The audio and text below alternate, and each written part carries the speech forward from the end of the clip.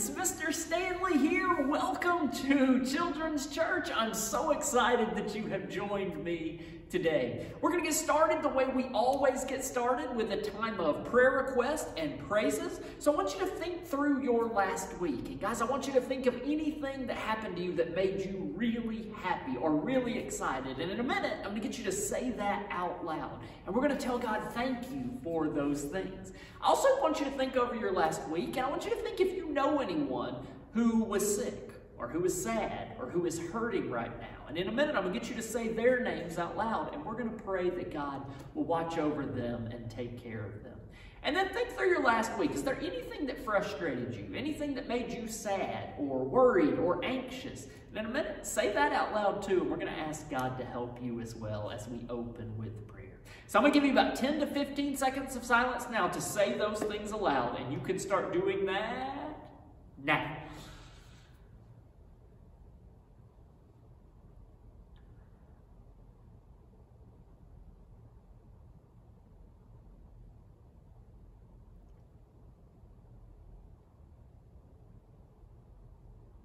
All right, great job, kids. I couldn't hear what you said, but guys, I promise you, God heard each and everything that you mentioned. And we're going to lift those things up to God now in prayer. So if you'll join me, if you'll put your hands together, bow your heads, close your eyes, we're going to go to God in prayer. Dear Heavenly Father, Lord, we thank you for this day. We thank you that we get to come together here on this video and we get to talk about you, God. We get to pray to you right now. We thank you for the many things that you've given us in our lives that make us excited and that make us happy, God. We thank you for those things. God, we pray for the people in our lives who are sick or sad or hurting. We pray that you would take care of them, that you would watch over them, Lord, that you would heal them if they're sick. God. And God, I just pray for every kid that's watching, if they're struggling with something, if something's making them anxious or angry or worried, I pray that you would help each and every child with those things, God. We pray that you be with us now in Children's Church. Help us to have a lot of fun and learn a lot about you. It's in your holy and precious name we pray. Amen. Great job, kids. All right, we just opened with prayer, and now we move on to another prayer. We always start Children's Church by praying two times in a row. Now, the next prayer has a special name. Do any of you know the name of our next prayer? You can say it out loud. I think some of you probably said it. It's the Lord's Prayer. All right, we pray this prayer every single week here at church, and the reason we do that the reason this prayer has a special name called the Lord's Prayer is because when Jesus was here on earth, the disciples, his best friends, they came to Jesus one day and they said, Jesus, will you teach us how to pray? And Jesus taught them to pray using this prayer. And so we believe that if Jesus taught his disciples to pray using this prayer, we can learn to pray by praying this prayer as well. So we pray it every single Sunday, and if you know it, I want you to pray along with me. It starts Our Father. If you don't know it, just listen this week. And as you come to Children's Church more and more, you're going to memorize this chair because we're this prayer because we're going to say it over and over and over. So let's go to God again now in prayer. Let's bow our heads, close our eyes, and let's pray to God. It starts Our Father. Our Father, who art in heaven, hallowed be thy name. Thy kingdom come, thy will be done, on earth as it is in heaven. Give us this day our daily bread, and forgive us our trespasses, as we forgive those who trespass against us. And lead us not into temptation, but deliver us from evil. For thine is the kingdom, and the power, and the glory forever. Amen. Great job, kids. All right, for our Bible lesson today, we're going to continue to tell these stories about Jesus and Jesus's life, all right? And if you've been with us, you know we've talked about Jesus calming the storm, Jesus and Peter walking on water, Jesus healing a blind man, and other stories. But today we're going to be talking about one of the really big miracles of Jesus. And the story starts a, the same way that a lot of our stories start. Jesus had been in a city and he had been teaching people about God. He had been telling people how much God loved them. He had been healing people who were sick. He had been performing miracles. And it's around, it's probably a little bit after lunch. And Jesus has been doing this all day up until that point in this city. And Jesus gets kind of tired. And he's looking at his disciples and he notices his disciples look a little bit tired too. They've been doing this day after day, all of these things teaching people about God. And so Jesus tells the disciples, let's get in a boat. And for once, they get in the boat and a giant storm doesn't come, right? I've told you that. Normally, when you get in a boat, bad things happen in the Bible. Not this time. He says, let's get in the boat and let's sail down the coast and let's find a really quiet spot where no one is and let's rest for a while. We could all use some rest. And so they do. They get into the boat, Jesus and his disciples, and they start sailing down the coast looking for a place to rest where there's no people. But the people that Jesus had just been teaching, they see Jesus get in the boat.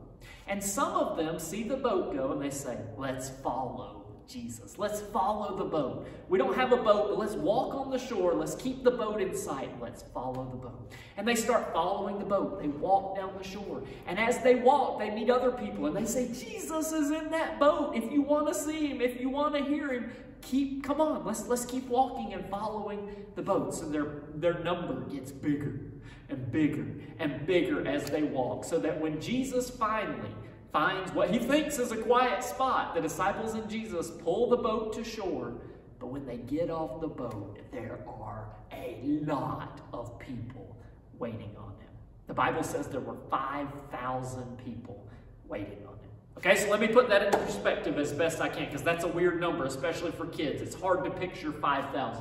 So what I did, I got online and I looked at the number of kids that go to Bluff Park Elementary School. I know a lot of our kids that are watching this probably go to Bluff Park. Uh, but even if you don't, this is going to make sense. Bluff Park Elementary School has 661 kids in it.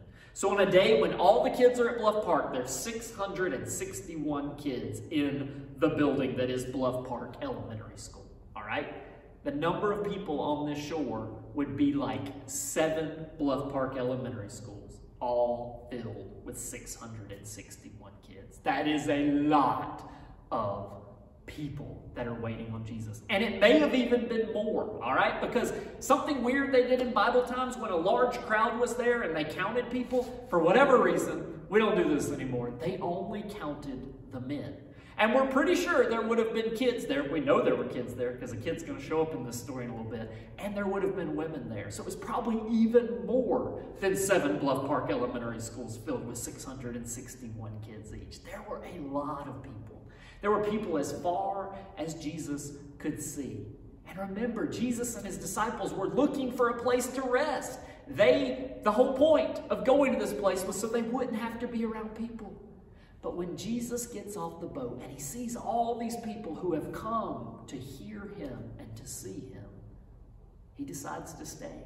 He decides to stay and continue to teach them about God, to heal people there who are sick, to tell those people, all those people, how much God loves them. All right, and so Jesus does that. And he does it for the rest of the day, and he does it, and he does it, and he does it, and it starts to get late in the day. And the disciples start to notice these people are getting hungry. They didn't plan on coming here and having a picnic. They didn't bring any food with them. They just started following Jesus' boat as it went through the water. So nobody has any food, and they're all starting to get hungry. And so the disciples come up to Jesus and they say, Jesus, it's getting late. All these people are getting hungry. We can't feed them. You probably need to send them home. We need to kind of wrap things up for today. All right?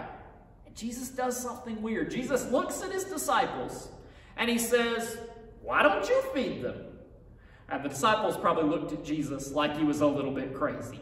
All right? Because remember, there's tons of people and the disciples don't have any food. Nobody brought food. And he goes, Jesus, how in the world are we going to feed all these people? We don't have any food, and even if we did, it would cost like half of our yearly salary, half the money we make in a year to feed all these people. We can't feed all these people. And Jesus says, Go find any food that you can find. Go, go ask the people if anyone will give any food and bring it to me. And so the disciples start going around and asking everyone, Do you have any food? Jesus needs it. And they go from person to person, and nobody has food. They finally find, the Bible says it's a little boy. We don't know how old he is, but it says a little boy. And this little boy had two fish and five loaves of bread. And the disciples asked the boy, Can we have this food? Jesus needs it. And the boy gives his food. So they take these two fish and these five loaves of bread that the little boy had given them. They take it to Jesus and they say, This is all we can find. Now, let me ask you if you go to Bluff Park Elementary, all the kids that are at Bluff Park Elementary, just one Bluff Park Elementary, would five loaves of bread and two fish feed those people? Not even close.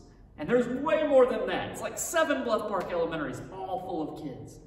All this crowd. But Jesus says, I'll take it.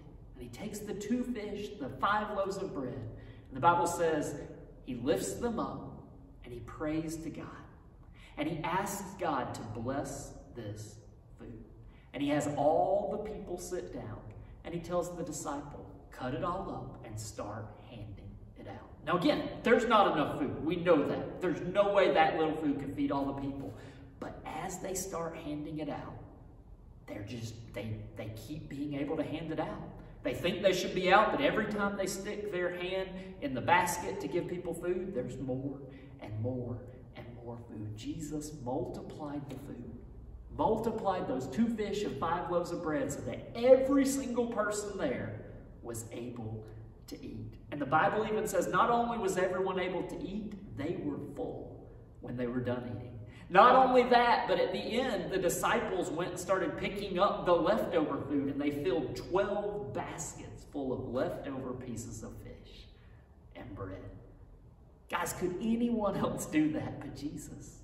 No, nobody else could do that but Jesus. Jesus fed over 5,000 people with two fish and five loaves of bread. And that's the end of the story. Was that a good story? Guys, I love that story. I love that it teaches us that, again, Jesus is the Son of God. Only Jesus was able to do something like that. And guys, normally at the end of the story, I tell you to focus on Jesus. What can we learn from Jesus in this story? What, how can we be like Jesus in this story? I'm going to do something a little different. Instead of focusing on Jesus, this week, I want you guys to think about that little boy. All right? That little boy, out of this whole big crowd, people as far as you could see, that little boy seemed to be the only person there that had any food. Everyone was hungry, the Bible says. And this little boy had food. And the disciples come and say, Would you be willing to give your food because Jesus needs it to feed everyone here who's hungry? That little boy could have said, No, this is my fish, my bread. I'm the only one that thought to bring food. I'm going to keep it so that I'm not hungry, right? But does he do that? No, the little boy chooses to give his food to Jesus so that Jesus can help everyone who's hungry. And Jesus does do that. But guys, I know from reading the Bible, from this story, from other stories, from Bible verses, Jesus wants us to be like that little boy. Guys, when we see people in our lives who need help, Jesus wants us to help him. In this story, the people needed help because they were hungry. And the little boy chose to give it to Jesus so that he could help them. Guys, in your lives, you're going to meet people who need help, that are hungry. And I know Jesus wants us to find ways to feed them. You're going to meet people in your life who are sad. Jesus wants us to find ways to help them and make them happy. We've done here at church at Christmas time. We sponsor families who don't have quite as much money as some of us do. So they don't get as many Christmas presents. And we see that. They need help because we want them to have more Christmas presents, so we help them. There was a great example of this in the last week. A lot of you heard there was a tornado in Fultondale in northern Birmingham. And some people lost portions of their house, houses or their houses, and they needed help to get by until they could get back on their feet or find some place to stay. And so I know our church did a food slash bathroom type stuff drive. So we collected toilet paper, paper towels, canned foods. Um, I just looked at a room upstairs that had started to fill up with this stuff, that people of our church knew that there was a need. There were people who needed these things, and they went and bought these, and we're going to take those to those people. Some of your schools did that, had drives at your school where you could collect those things and bring them in. Again, it's people seeing people who need help and finding ways to help them. And so, guys, I want to encourage you to do that in your life, to be like the little boy in this story. If you know someone in your life right now that need help, needs help in whatever way, I want to encourage you to try and find a way to help them. All right? And maybe you don't know anyone now because I promise you throughout your life, things are going to happen like that tornado. Or you're going to meet people who are sad. You're going to meet people who, for whatever reason, are hungry. And when you encounter people like that, when you encounter people who need help, I want to encourage you to be that, like that little boy and find ways to help them. All right? Can you do that for me? If you can do that for me, give me two big thumbs up. Good job. When we do those things, when we help people, it makes Jesus happy. And we become the people Jesus wants us to be. All right, great job, kids. That is Children's Church today. Come back next week, and we're going to do another really cool story about Jesus. So let's close in prayer. Put our hands together, bow our heads, close our eyes. Dear Heavenly Father, Lord, we thank you for this day. We thank you for this story of Jesus feeding 5,000 or more people and this little boy who offers his food so that Jesus can help those people. Help us to be like that little boy. When we see people who are hurt, people who are sad, people who are in need, help us to help them, God. Give us the strength to help them. Give us the ability to help them. Give us the heart to help people who are in need, God. We love you, Jesus, and we thank you for this day, God. We pray that you would help us as we go through this week. Lead us, guide us, show us the way you would have us go. It's in your holy and precious name we pray. Amen. All right, kids, I'll see you next week.